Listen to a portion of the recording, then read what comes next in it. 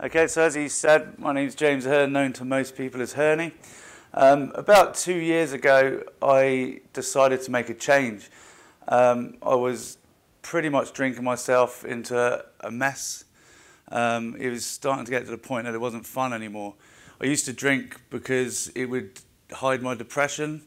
It would then lead me to um, feel happy for a certain amount of time. Uh, the trouble is, eventually that stopped happening. So I got to a point where it, I decided in my head that I want to change. I need to make big changes. But this time, something was different. I really meant it.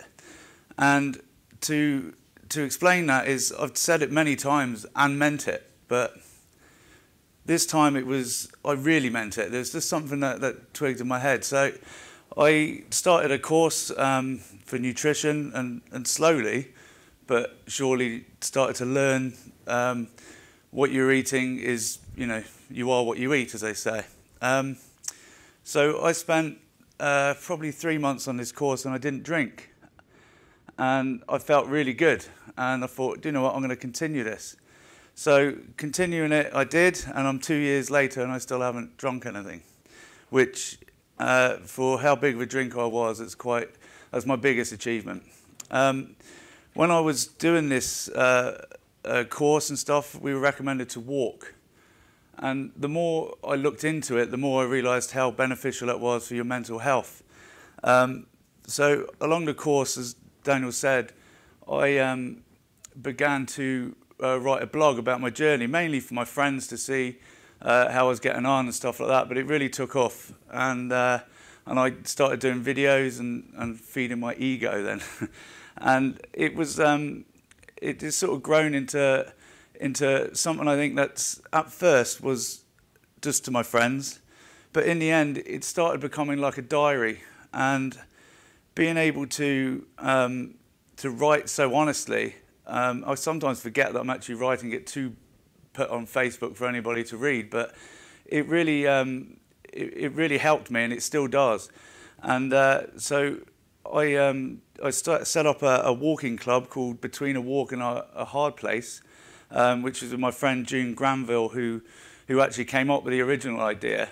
And it was, um, uh, you know, the benefits of, of, just walking, say, 20 minutes a day or half an hour um, or an hour every other day, things like that.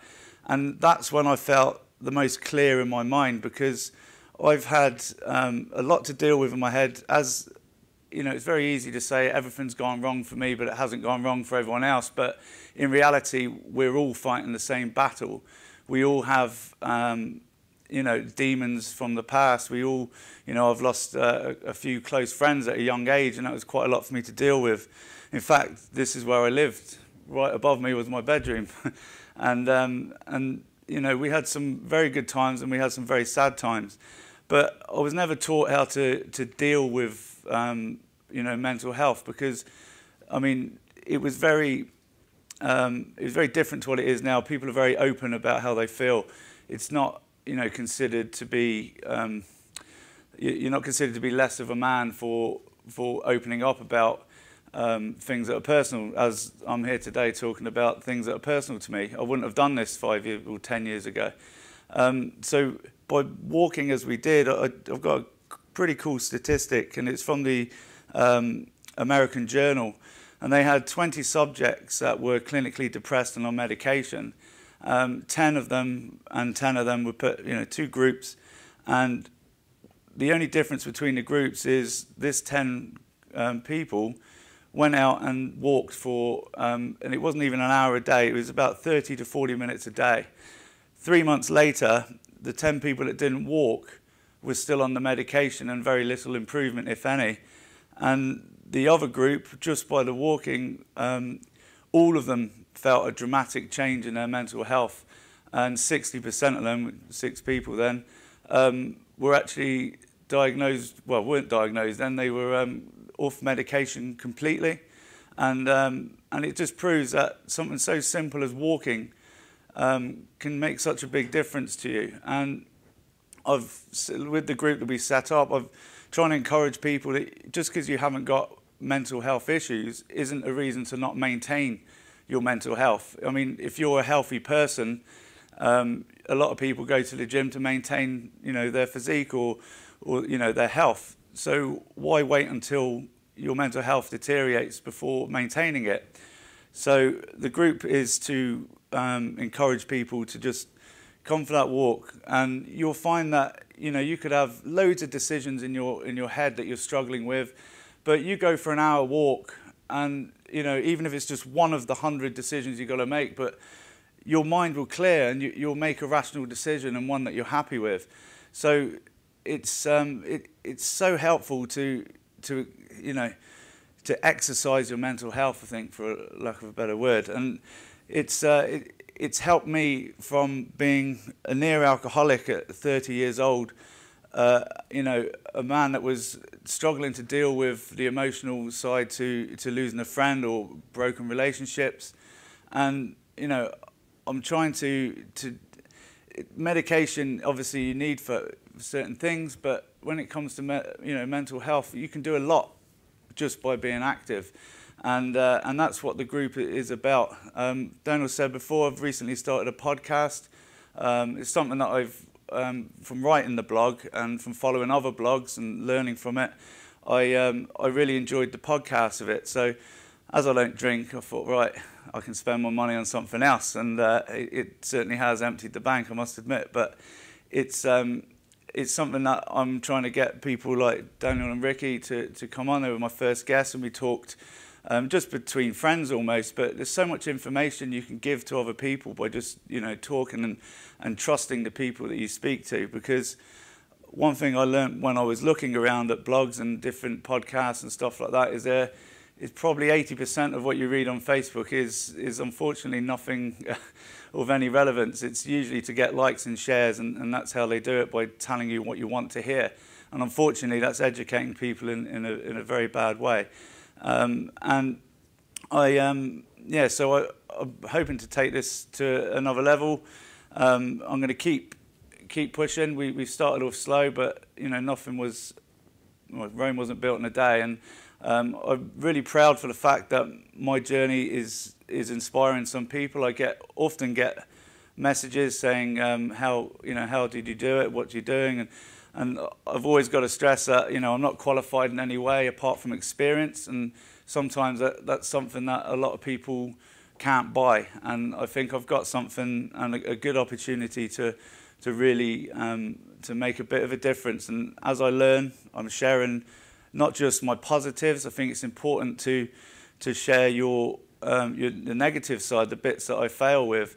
Um, strangely, drinking I thought would be the hardest thing for me to give up, but it seemed to be the easiest thing for me to give up.